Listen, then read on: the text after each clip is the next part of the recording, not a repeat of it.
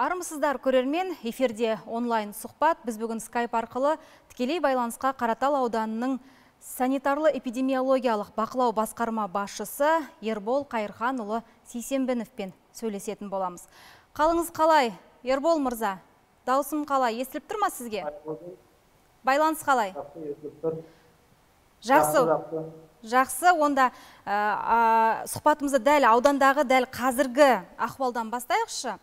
Пандемия біраз әбгерге салғаны рас қой. Ә, сіздердің жұмыстарыңыз ә, өте жауапты болды. Қазіргі ахуал қалай? Нендей шаралар атқарылып жатыр? рахмет сұрақты сұрағыңызға иә пандемия біздің халықты өте үлкен экономикалық жағынан да әлеуметтік жағынан да үлкен әбігерге салды бірінші толқынымыз өтті қазіргі жағдайда енді жағдайымыз эпидемиологиялық тұрақты болып тұр. Осы күнге дейін қазір атап айтсақ жиырма тоғызыншы қазаннан бастап қаратал ауданы бойынша сегіз жағдай тіркелді. Сегіз жағдай бойынша алдын алу жұмыстары толыққанды жүргізілді. Әр ошақ тексеріліп қарым қатынаста болған адамдардың бәрі анықталды. Зертханалық тексеруге сынамалардың бәрін алдық. Жаңағы адамдарымыз талдықорған қаласының жұқпалы аурулар ауруханасына жеткізілді. Бірінші толқын кезінде бізде аудан бойынша көптеген адамдар тіркелді. Сол жағдайда жаңа ошақтарды толықтай залалсыздандыру алдын алу эпидемиологиялық тексеруді жүргіздік. Қарым қатынаста болған адамдардың толықтай анықталды. Анализдері бәрі жасалды. Атап айтсақ бізде бірінші толқын кезінде ең бірінші жағдай жиырма екінші мамыр күні тіркелген аудан бойынша. Содан кейін бірінші толқынның аяғы бізде жиырмасыншы тамызда соңғы жағдай болып тіркеліп тоқтаған. Енді міне екінші толқын кезінде жиырма тоғызыншы қазаннан бастап тіркеліп отыр. Жиырма тоғызыншы қазаннан бастап тіркеліп отыр деп отырсыз ба түсінгенім? жиырма тоғызыншы қазаннан бастап бізде қанша адам тіркелді? қанша? Сегіз адам. Сегіз адам. Олар қазір олар қайдан жұқтырды екен? Қазір жағдайлары қалай? Қазіргі жағдайлары қанағаттанарлық ол адамдармен эпидемиологиялық тексерудің бәрін толықтай өткіздік. Жұқтыру жолдарын қорғаныс заттарын бетперде режимін сақтағандарын айтып жеткізіп отыр. Енді болжам бойынша және көпшілік жиналған жерден жұқтырған деп болжап отырмыз. Қасындағы жаңағы қарым қатынастағы адамдардың қосымша анализдерін бәрін алдық. Соның ішінен мысалы бір адамда бір ошақтан бізде екі жағдай тіркелген болып отыр. Көпшілік орта дегеніңіз қандай жерлер ол? Той томалақ жиын отырыстар ма? Көпшілік орта дегеніміз енді әр адам жұмысымен дүкендерге барады там базарларға баруы мүмкін. Енді толықтай осы жерден жұқтырдым деп ол кісілерді жеткізіп айтып отырған жоқ. Ешқайсысы ауру адаммен немесе ауру белгілері бар адамдармен қарым қатынаста болмаған жақсы бетперденің бағасы жөнінде айтып өтіңіздерші. Енді қазір қадағалау қолға алынды ғой. Сіздерде ауданда бетперде жеткілікті ме? Бағасы тұрақты ма? Қаулыға сай енді алпыс теңге болу керек деген жағдайды да естіп жатырмыз ғой. Сол баға тұрақты ма? Алпыс теңгеге дейін болу керек деп жатырмыз. Бетперде жағдайына келетін болсақ өзіңіз білесіз бірінші толқын кезінде бетпердені жетпеу жағдайлары да тіркеліп жатты. Қазіргі кезде енді үкіметтен жүргізген шаралардың арқасында бетперденің бағасы алпыс теңгеден түсті. Қазір біздің аудан бойынша он бес дайын дәрілік заттарды сататын дәріханалар бар. Осы дәріханалармен мониторинг жүргізген барысында бетперде бағасы жиырма бес теңгеден алпыс теңге арасында екені анықталды. Бетперде жеткілікті. Бетперде сатылымда бар. Жақсы. Жаңағы мәселені айтып өтіңізші. Енді сіз сегіз адам тіркелді деп жатырсыз ғой жиырма тоғызыншы қазаннан бастап. Сол кісілердің қазіргі жағдайы олар қалай емделіп жатыр қай жақта емделіп жатыр? Өкпені желдету аппараттарымен қамтамасыз етілген бе? Әлде облыс орталығына э, жеткізілген бе ол кісілер? Ол кісілер қазір облыс орталығына жеткіз- жеткізілді. Ауыр жағдайда жатқан адамдар жоқ. Э, жағдайлары қанағаттанарлық. Бізде аудан бойынша ата айтып өт- өтетін болсақ э, арнайы жеке бөлінген жұқпалы ауруханалар э, жоқ. Бізде тек қана жұқпалы ауру, ауруларға арналған бөлім бар. Мына облыс орталығына жақын аудан болғаннан кейін біздің аурулар осы облыстық жұқпалы аурулар ауруханасына жеткізіледі. Мхм. Сіздерді енді ә, құдай сақтасын деп жатырмыз ғой дегенмен де екінші толқын басталып кеткен жағдайда енді ә, өршіп кетсе бұл індет тағы да аурулар ә, қатары көбейіп кеткен жағдайда. Сіздердің дайынсыздар ма осы жағдайға? Екінші толқынға дайындық жүріп жатыр соңғы мәліметтер бойынша біздің қазір қаратау аудандық орталық ауруханасында екі айға жететін дәрі дәрмектердің қоры бар. Сонымен қатар бізде арнайы фильтр бөлінген жаңағы коронавирус жұқпасына ұқсас ауруларды жекелеу үшін арнайы фильтр бар. Бұл фильтріміз 26 орынға арналған. Бұл жерде тек қана коронавирусқа ұқсас симптомдары бар адамдар жатқызылады. Егер де осы адамдардың ішінен ә, ПЦР дейміз ғой птр әдісімен алынған ә, зертханалық жолмен алынған сынамалар оң нәтиже көрсетіп жататын болса бұл аурулар жаңағы облыстық жұқпалы ауру, аурулар ауруханасына жеткізіліп жатыр. Қалған жаңағы екінші толқынға дайындық бойынша тағы атап айтатыны ә, ауруханада қазір 75 концентратор оттегі концентраторы 12 ә, өкпені желдету аппараты бар. Сонымен қатар стационарлы түрде оттегі, оттегіні жеткізетін 12 нүкте қойылған стационардың ішінде. Жаңағы аппараттармен толықтай қамтылған. Дайындығымыз жақсы деп ойлаймыз. Сонымен қатар бірінші толқын кезінде бізде арнайы жеке ғимараттан жетпіс орындық провизорлық стационар ашылған болатын. Ол провизорлық стационар қажет жағдайда қайтадан ашылады. Ауруларды ауырып келген адамдарды жатқызу үшін оған біздің аурухана дайын. Дайын тұрсыздар. Жақсы жаңа сегіз адам осы ауруға шалдықты деп жатырсыз иә? Олар кімдер? Үлкен кісілер ме әлде балалар ма? Екінші толқынның балаларға зияны көп деп жатыр ғой енді. Бұларды атап айтатын болсақ қазір ә, осы соңғы сегіз адамның ішінде екі зейнеткер бар ә, үш жұмыссыз адамдар бар а балалар тіркелген жоқ. Балалар жалпы біз бірінші толқыннан бастап санайтын болсақ бізде жеті жағдай балалар тіркелген болатын 14 жасқа дейін балалар. Мхм осы 14 жасқа дейін балалардың екі науқасы ә, жаңағы жұқпалы аурулар ауруханасында емделіп шықты. Ә, бес бала үй жағдайында емделді. Симптомсыз түрі дейміз ғой белгісіз түрімен тіркелген болатын. Арты жақсы болып бәрі емделіп шықты балаларымыз. Жақсы енді осыған дейін де біз ә, біраз санитарлы эпидемиологиялық жаңа басқарма бақылау басқармасының басшыларымен ә, сұхбаттасып келеміз ғой. Бізде барлығы жақсы ә, екінші толқынға сақадай сайымыз деп жауап беріп жатыр.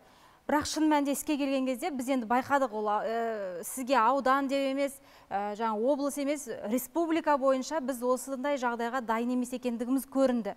Енді екінші толқынға сақадай сайымыз деп жатамыз ғой. Дегенмен де жаңағы аппараттар жөнінде айтып өтіңізші сіздің аудандағы аппараттар жеткілікті ме? Енді ә, қазірден бастап сегіз адам тіркелді деп жатсыз өршіп кеткен жағдайда қалай болады? Аппараттарға тоқталып өтетін болсақ ә, бізде бастапқыда бірінші толқын кезінде ә, бес аппарат болған. Қазір сол аппараттардың саны 12-ге жеткізді. Мхм Ә, жаңағы оттегі концентраторының саны тоғыз концентратор болған. Қазір сол оттегі концентраторының саны жетпіс беске жеткізілді. Сонымен қатар ә, тағы да жұмыстар жүргізіліп жөндеу жұмыстары. Стационардың ішінде жаңа мен алдында атап, айтып өткендей 12 нүктеге оттегі желісі түтіктері жеткізілді. Бұл жерге де адамға жаңа науқасқа егер де ауыр халде болып оттегі қажет болып жатқан жағдайда осы нүктелерге қосуға болады. Мхм. Жақсы. Қазіргі кезде енді жаңа оқуды айтамыз мектепке балалардың бару жағдайы да жа- жалпы санитарлық нормаларға сәйкес жүріп жатыр ғой. Мектептердегі жұмыстарды айтып өтіңізші осы жерде жаңағы. Себебі екінші толқын балаларға қауіптірек деп айтып өттік жаңа жоғарыда. Кезекші сыныптар қалай жұмыс жасап жатыр? Сіздерде жалпы ауданда мектепке барып он, кезекші сыныптарға өтініш берген ата аналар көп пе? Әлде үйден онлайн оқып жатқандар көп пе? Енді оқу процесіне тоқталатын болсақ бізде аудан бойынша 30 мектеп мектебіміз бар. Осы 30 мектептің ішінде қазір 18 мектебі э, қашықтықтан оқытумен жұмыс істеп отыр. Сонымен бірге жаңағы жалпы оқушының саны бізде жеті мың үш жүз елу екі болатын болса қашықтықтан қазір төрт мың үш жүз бес адам оқып жатыр ата аналардың қалауы бойынша кезек, кезекші сыныптарды ә, ашу бойынша 18 мектеп жұмыс істеп тұр. Бұл кезекші сыныптарда қазір жүз жетпіс алты жүз жетпіс алты сынып саны бар. Оқушылардың саны екі мың екі жүз отыз алты. Бұл кезекші оқу сыныптарын оқу процесі басталатын алдында мониторингтік топпен бәрін тексеріп өттік. Жаңағы қажетті ара қашықтық сақтау талаптары бетперделік режим санитайзерлармен қолдану термометрия жүргізу жаңағы ә, келген оқушыларға сүзгі жүргізу талаптарын орындауын тексеріп шықтық. Ә, мектептің әкімшілік жағынан талаптар орындалып жатыр. Осы оқу процесі басталғаннан бері ә, тіркелген әлі бізде тіркелген жоқ яғни сақтық шаралары сақталған ғой мектептерде иә? Шараларын жақсы ұстап отыр деп ойлаймыз да. Әрине балалар енді болашағымыз болғаннан кейін біз олар үшін алаңдаймыз дегенмен де олардың оларды болашаққа дайындайтын мұғалімдер ғой. Мұғалімдердің қазіргі жағдайы қалай? Марапаттау жаңағы түсіндіру жұмыстары қалай жүріп жатыр? Мұғалімдердің ә, олардың өз енді айтатын болсам жаңағы мұғалімдер оқуға кіретін кезде әр класста қандай талаптар сақталу керек қандай жағдайда жұмыс істеу керек екенін олар дайындықтан өткізілді. Және сабақтарының бас сабақ оқу процесі басталатын кезде біз мұғалімдердің сабақ беретін мұғалімдерді толықтай птр әдісімен зерттеу жүргізіп алдық. Жақсы енді жаңа залалсыздандыру деп жатырмыз бетперде деп жатырмыз иә сақтық шараларын сақтау үшін. Жалпы сіздердің ауданға осы қанша қаржы бөлінді мына ковидпен күресу үшін пандемия кезінде? Жаңағы ко- коронавирус инфекциясының алдын алу бойынша бізде қазір енді сіздерге ақша жағынан қанша бөлінгенін мен дөп айта алмаймын оны, оны, өйткені ақша жағына енді біздің құзыретіміз жоқ қанша ақша бөлінген. Бірақ қазіргі кезде қанша мысалы бар екенін біздің орталық ауруханада орталық ауруханада қазір қордағы қорды қарайтын болсақ әзірше бізде елу елу мың бетперде жиырма мыңнан астам ре- резеңке бір рет қолданылатын қолғаптар қолғаптармен қамтылған әртүрлі антисептик заттарды алатын болсақ үш жүз литрдай антисептик заттары дайындалған. Мхм. Сонымен қатар дезинфекциялық заттардан үш жүз үш жүз отыз литр бар. Мхм. Қазіргі таңда. Бұл жеткілікті. Сонымен қатар ары қарай егер өршіп кететін болатын болса ары қарай жаңағы жеткізіледі деп күтіліп отыр. Бұл екі айға жететін қорымыз бар біздің қазіргі кезде. Екі айға жететін қорыңыз. Дұрыс түсіндім бе? Дәрі дәрмек жағынан да. Дәрі дәрмек демекші дәріханалардағы дәрі дәрмектің бағалары тұрақты ма? Қадағалайсыздар ма оны? Енді бірінші толқында ә, барлығымыз сабылып дәрі іздеп кеткен жағдай болды ғой. Қарапайым жаңағы аспириніміз бар парацетамолымыз бар таба алмай қалдық. Екінші толқын басталып кетсе қалай болады жағдай? Дәрі дәрмек жағынан енді мони- мониторинг ә, бірінші толқын толқын кезінде алпыс бес дәрі бойынша мониторинг жүргізіп отырдық. Қандай қандай бағалар қайсы жеткіліксіз екені айтылып отырды. Шамалар келгенше жеткізіп отырды. Енді жаңа өзіңіз айтып отырсыз аспирин бізде дене қызуын түсіретін өте көп қиындықтар болды. Шынымен де пайда болып тұрды қайдан жоқ қайдан пайда болды қазіргі кезде енді аспирин дәрілеріміз бар. Жеткілікті иә? Иә бірінші толқындағындай сабылмаймыз ғой іздеп. Құдай қаласа сабылмаймыз жақсы енді ата ана жаңағы айтып жатырмыз ғой өз баласына жауапкершілікпен қарау керек дейміз. Дегенмен де ә, кезекші сыныптар деп жатырмыз жаңағы балабақшаларымыз бар олар әлі де жұмыс жасап жатыр иә балабақшалар. Енді осы мектептегі жаңағы балаларға осы жағдайды түсіндіру мақсатында қандай да бір сабақтар өткізіле ме? Оны қадағалайсыздар ма? Үгіт насихат жұмыстары жүре ме? Мектепті мектепте міндетті түрде жүргізіліп жатыр ол үгіт насихат э, жұмыстары. Әр балаға қалай бірінші жеке қорғаныш заттарымен қалай қолдану керек екенін жаңағы сағаттарында міндетті түрде айтылып өтіп жатыр. Оның бағдарламалары бағдарламалары білім бөлімімен бекітілген бар олар. Онымен күнделікті жұмыс жасап отыр олар. Жақсы ендеше балабақшаға келіп иә балабақша мәселесін айтып өтіңізші. Олар қалай жұмыс жасап жатыр? Әлде жұмысын тоқтатқандар бар ма? Балабақша мәселесіне келетін болсақ біздің ауданда төрт балабақша қазір жаңағы кезекші топтармен жұмыс істеп тұр. Кезекші топтар дегеніміз 15 балаға дейін қабылдап жұмыс істеп тұр. Бұл балабақшаларда күнделікті мониторинг мониторинг бақылауда тұр. Күнделікті қанша бала келді балалардың денсаулығы қандай. Әр балабақшада өзінің бекітілген медициналық э, жұмыскерлері бар. Жаңа медициналық жұмыскерлер және тәрбиешілер балалардың жеке бас гигиенасына қарап отыр денсаулығына қарап э, денсаулығын міндетті түрде бақылап отыр. Әзірше бәрі жақсы. Э, балабақша жағынан ешқандай бізге э, шағым түскен жоқ. жақсы. Енді мына орта және шағын ә, кәсіпкерліктегі жаңалықтар жөнінде айтып өтсеңіз оларға қаулы бойынша қандай шектеулер енгізілген? Енді мына карантин, карантин уақытында өздеріңіз білесіздер әртүрлі жалпы республикамыз бойынша әр облыстарда шектеу жұмыстары жүргізіліп жатыр. Мхм.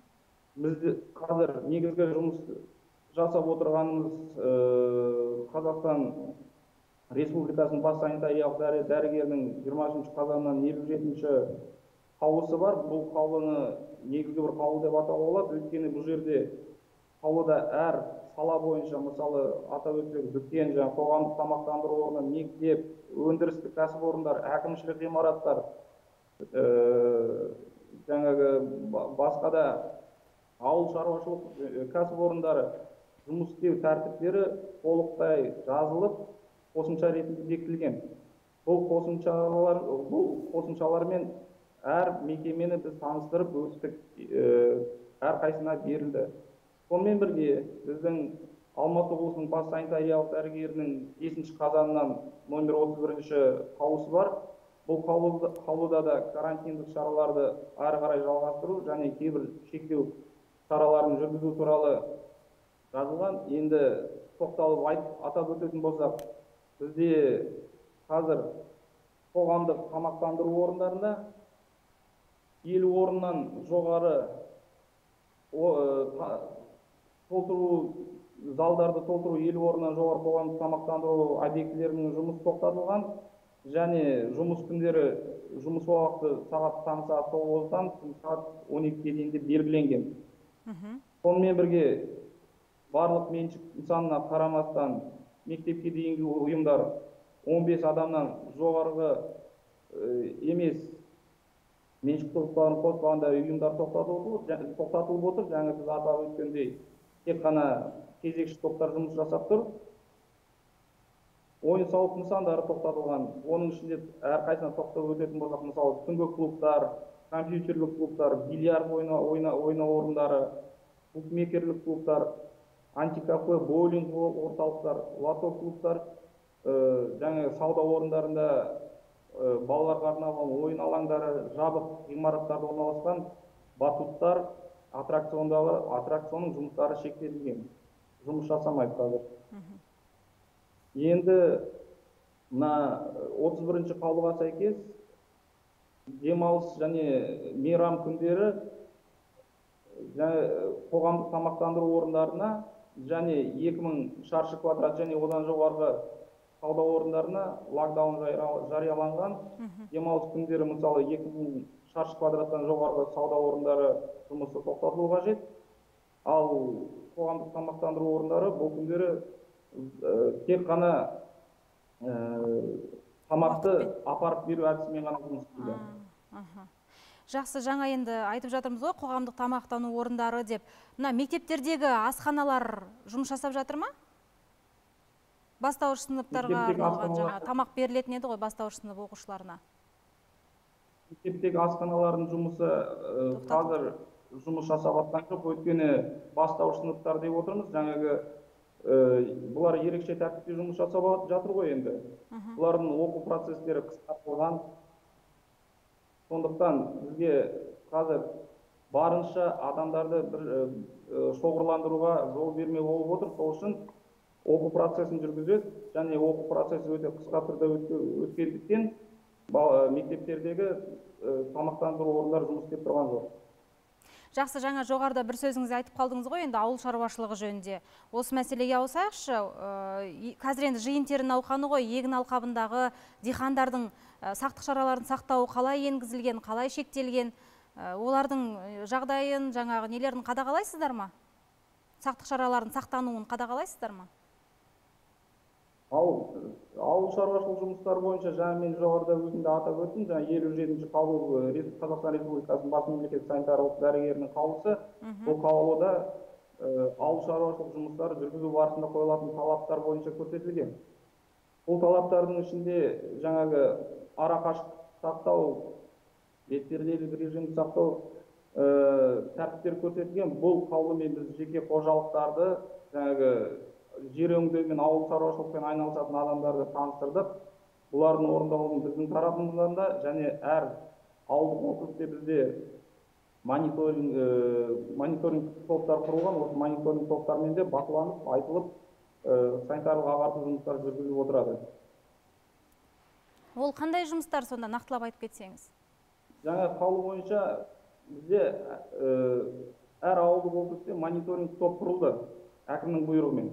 Бұл мониторинг топ жаңа қаулыда қосымша қосымшаға сәйкес әртүрлі айтып өткендей жаңа дүкен қоғамдық тамақтандыру әр ауылда қандай объект орнатылды қандай адам көп шоғырланатын жерлерде жұмыс істеп жатыр осы э, қосымшалармен таныстырып жүр.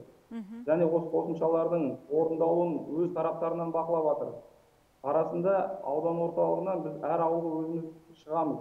Жұмыстар жаңа мониторинг топтың жұмысын бағалаймыз және қосымша тағы да көмек көрсетеміз методикалық. Әзірше жұмыстарымыз осы қаулыға сәйкес жеке шаруа қожалықтары бәрі сақтап отыр жақсы жүріп жатыр ол. Осы ошақ э, ауыл шаруашылық бойынша жұмыстарына тартылған адамдардың ішінде э, ауырған адамдар тіркелмеді осы уақытқа дейін. Арақашықтық сақтау мүмкіндігі енді далада жақсы ғой енді үлкен. Арақашықтық сақтайды ең қажетті нәрсе э, қажетті талаптарында арақашықтық сақтап жүр. Э, жаңа қолдарын өңдеумен санитайзерлармен қолдану тәртіптерін бәрін сақтайды. Яғни түсінгенім сақтық шараларын жақсы атқарып жатыр. Ә, ешқандай айыппұл төлеп жатқан ешкім жоқ. Иә бұзып жатқан жоқ па? Ескерту алып жатқандар жоқ па сонда? Енді бұл мен жаңа сізге ауыл шаруашылық бойынша айтып өттім. Енді айыппұлға келіп осы пандемия уақыты басталғаннан бері жылдың басынан бері э, өрескел бұзушылықтар жіберген үшін э, біз он- 16 әкімшілік хаттама тол- толтырдық. Жалпы сомасы 69 мың 998 теңге көлемінде. Енді бұл атап өтсек осы екі материал жаңағы екі әкімшілік материалдар жеке кәсіпкерлікке толтырылды. Э, 14 материал жаңағы жеке тұлғаларға толтырылған. Бұлар көп адам шоғырланатын жерлерде бетперделік режимді сақтамау арақашықтық сақтамауға және әртүрлі жаңағы сауда орындарында дезинфекциялық режим сақтамауға сани- санитайзерлардың жоқ болуына байланысты толтырылған әкімшілік шаралар. Осы уақытқа дейін қанша айыппұл салынды? Осы уақытқа дейін қазір он алты айыппұл салынды. 16 сомасы алпыс иә қазір сомасын шамамен айтып өтсеңіз. шамамен айтып өтсем алпыс тоғыз мың тоғыз жүз теңге шамасында. Жалпы сомасы. Аха жақсы. Енді мына шалғай ә, орналасқан ә, шалғай ауылдарда орналасқан тұрғындарға көшейікші. Жалпы осындай жағдай орын алып сол шалғай ауылдарда ауырып қалған жағдайда індет жұқтырып алған жағдайда оларды ауданға ә, алып келу жұмыстары қалай сіздерде? Жеткізу жұмыстары? Шалғай жатқан шалғай жатқан ауылдарға ауылдар бойынша айтып айтып өтетін болсақ әр ауылдық әр ауылда бізде емдеу емдеу алдын алу мекемелері бар. Өзіңіз білесіз дәрігерлік амбулаториялар бар фельдшерлік пункттар бар. Осы фельдшерлік пункттерде жеке коронавирус инфекциясына ұқсас науқастарды шектеуге фильтр бөлмесі қарастырылып отыр. Егер де ауыл, ауылдық адамдар өзін нашар сезініп коронавирусқа ұқсас белгілері бар болатын болса ауыл, ауылдық амбулаторияның медициналық қызметкерлері тез арада жаңағы фильтрларға адамды шектейді. Өздерінің әрқайсысында жаңағы жеке бас қорғаныш заттары жеткілікті. Э, сол қорғаныш заттарын қолдана отырып әр ауылда бізде жедел жәрдем машинасы қарастырылған. Осы жедел жә- жәрдем машинасын қолдана отырып жаңағы санитарлық талаптарды сақтай отырып аудан орталығына жеткізеді ол адамдарды. Жақсы түсінікті. Енді мына мемлекеттік мекемелердегі жаңағы қызметкерлердің елуде елу жұмыс ә, несін тәртібін қалай қадағалайсыздар сіздер? Енді ә, мына қаулыға сай елу пайыз мекемедегі елу пайыз қызметкер ә, онлайн яғни үйінен жұмыс жасайды қашықтан ал елу пайызы келіп жұмыс жасайды деген бар ғой. Осының осыны қалай қадағалап жатырсыздар? Бұл жаңағы мен жаңа атап өткендей жоғарғы алматы облысының бас санитариялық дәрігерінің отыз бірінші қаулысында ә, жазылып өткен егер де штаттық кестеге сәйкес адам штаттық кестеге сәйкес адам саны отыздан асқан жағдайда алпыс пайызы жаңағы қашықтан жұмыс жасауға жө- жөнелтіледі деп. Бұл талаптармен бәрін таныстырып өттік біз. Үлкен үлкен мекемелерге бердік. Жаңа мекемелердің ба- басшыларымен сөйлесіп айтып түсіндірдік. Олар өз бақылауына алды бұйрықтарын шығарып жаңа адамдарды жеке ә, арақашықтан жұмыс жасауға жөнелтіп жатыр.